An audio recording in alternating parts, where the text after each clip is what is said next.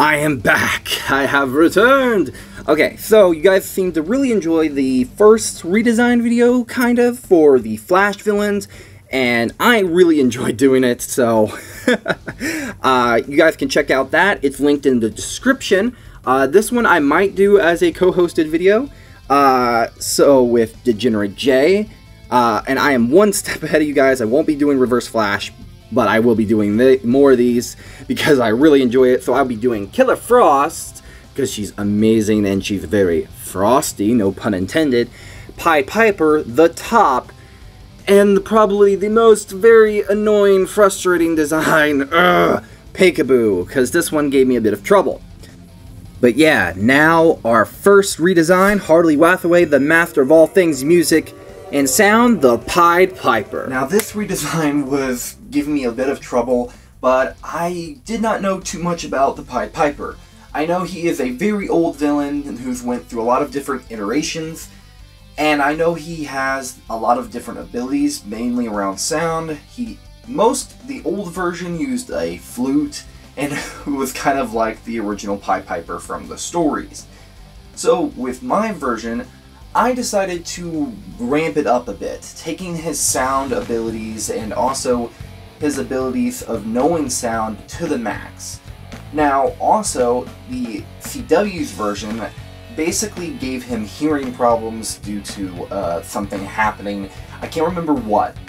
But, basically, I also thought it would be cool to give him other abilities based around sound, like the ability to see vibrations through these goggles and basically start to take away his sight a little bit.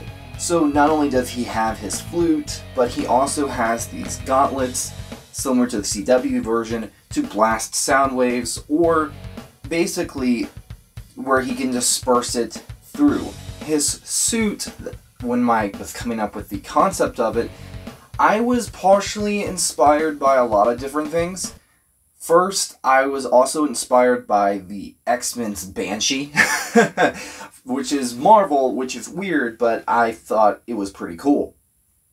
And I was also inspired by the Black Panther's Vibranium. When coming up with the suit design, I thought Harley Rathaway would make a suit that's more entangled with sound. So I thought, getting weird and cool with it, let's take his sound abilities and stuff like that to the max. So the suit would be made of this pretty cool uh, sound-based material, kind of like how um, Batman's cape, you send electric electricity through it in the Dark Knight films. Basically, pop. Uh, I thought similar concept, but apply that with sound. And I also was partially inspired by the uh, weird, but uh, McDonald's light up tables. It, basically, the sound would go correlate through the suit, and basically, he would have multiple abilities, even the ability to fly. I even thought of giving him these two little things on his back, like little, almost as a reference to his cape, but not giving him a cape because no capes. um, I thought it would be cool to give him like the little things that Azrael has in the Dark Knight, uh, not Dark Knight, the Arkham Knight game and Arkham City, uh, for like a cape where basically he can corselate sound through it and push, push himself through the air and also kind of have a few other abilities.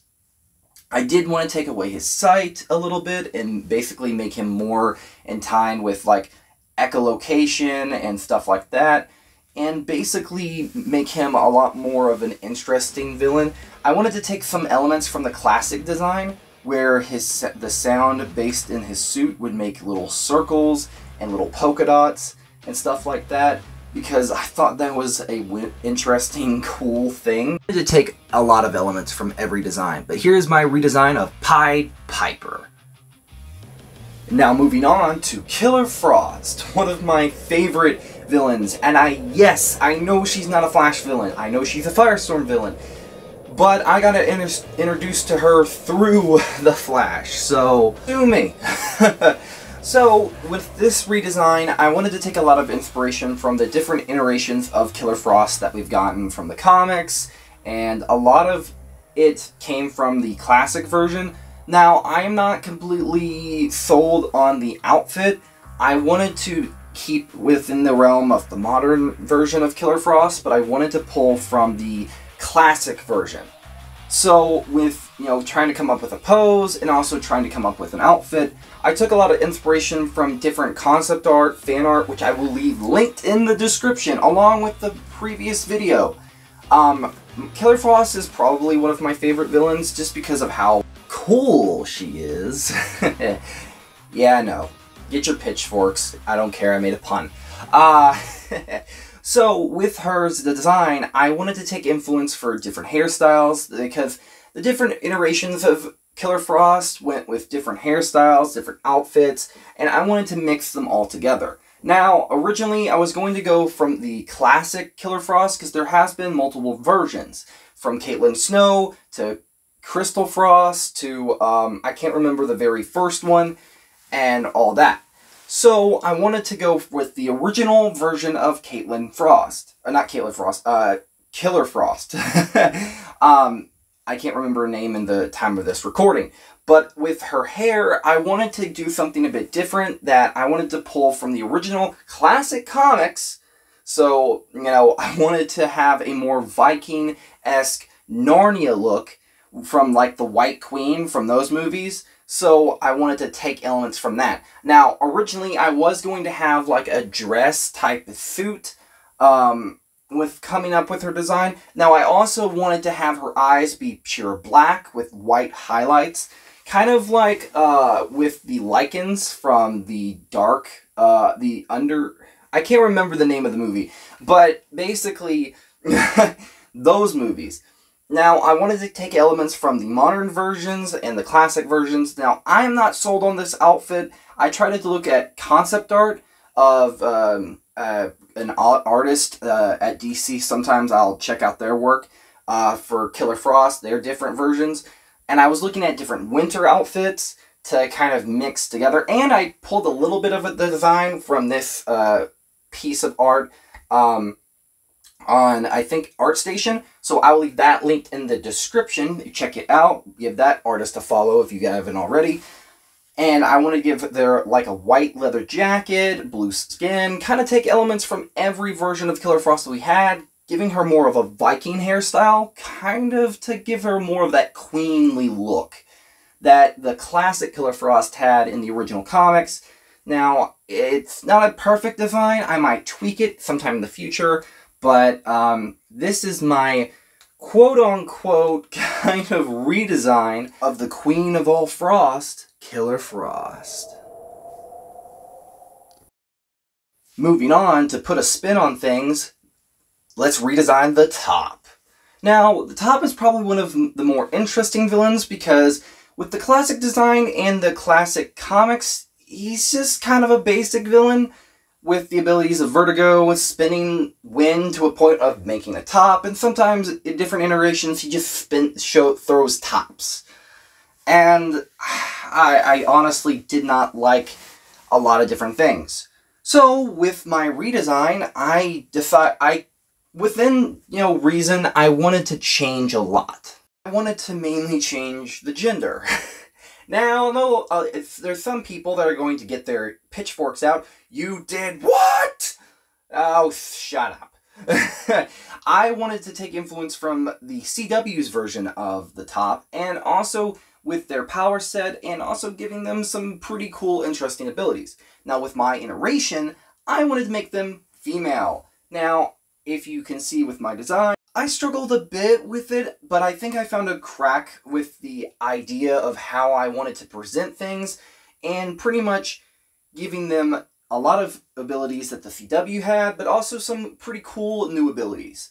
To make them a little bit more dangerous and less of a goofy villain, because the male version, I debated for a while of whether to keep them male, but I kind of like them being female. I don't think the Flash has too many female villains, and with the Rogues, I thought making the top a female isn't really too bad. Also, with their hair, as you guys will probably be seeing a little bit, I did mix their hair and have it be dyed. So their original hair is black to go along with the original comics, but I also thought of having it be a little bit blonde mixed in with the top going green in a spiral, kind of to give that top feel. Something that I wanted to pull from, especially with the design.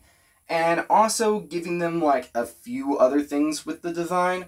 Their powers would be pretty OP. Giving them the ability to cause vertigo in somebody, but also the ability to control winds, and getting some pretty cool ideas. I also had the uh, idea of them to scene with the video. I struggled a bit with the design, but I wanted to give them some a lot of different abilities because obviously the top I wanted to have them evolve around vertigo, wind, spinning things around, and a whole lot of other things. And the, the I was partially inspired by CW's version when coming up with the design, which was a massive influence for me because, you know, I watched it a lot. Um, so when coming up with some of the power set, I took a lot of a look at the classic comics and also just trying to decipher okay, how much am I going to change? Now, keeping her female, I wanted her relationship with the rogues to be no nonsense, occasional, you know, being a bit of a bitch and banter wise, and kind of being a bit of a tomboy ish type of minx type of character. Um, and I wanted her to be slightly crazy, but with my design, keeping the yellow and green, and also making her suit out of this cool material that's, you know, takes in wind and really has this cool look. I wanted to have a unique style to things. And with her hair, I struggled immensely with it, but I settled on basically giving her a bit of a pixie cut because I wanted to have it be dyed at black for her original hair as a reference to the classic comics, but mixing like a lady pixie cut type of hair and kind of giving her this very interesting type features that kind of change up things. Um, I did cut up a bit of a boob hole. I'm not a pervert. Shut up. Uh, it basically in the shape of top, but here is my redesign of the top and I really hope you guys enjoyed it. Um, this was very fun. Um, I design wise, I am so proud of how this turned out, but yeah. okay, sorry guys, but I am very drained, and due to like some time constraints, I was not able to think of anything for Peekaboo. I might save her for another video, so make sure to like this one and follow if you want to see more. I will also post this video on TikTok. So if you're on TikTok, follow. If you're on YouTube, like, comment, share, subscribe. Let me know what you think of the video. It, it's really appreciative of all of you guys and your support. If you haven't already, check out some of my other socials I and the links in the description to the video and some other videos on my channel or check out some of the stuff on my shorts because I do a lot of art and all that if you're on TikTok. Um, I will also be posting the completed redesigns on my Twitter, uh, and uh, I sometimes I like to stream on Twitch, so if you can, want to check me out there. But uh, let me know what your favorite redesign is in the comments down below. Let me know what characters you want to do, and let me know if you enjoyed the video because I love reading the comments and I love seeing what you guys have to say. Uh, I have some other videos coming up. You guys are going to be in a, well, uh, in a hoot for what I got planned for a redesign video for Ben 10,000 and a collab video with uh, Evolving Devil May Cry with somebody. You guys keep an eye out for those. I will, I would greatly appreciate it. Uh, make sure to like, comment, share, and subscribe, and all that jazz. It really helps me out. And bye bye.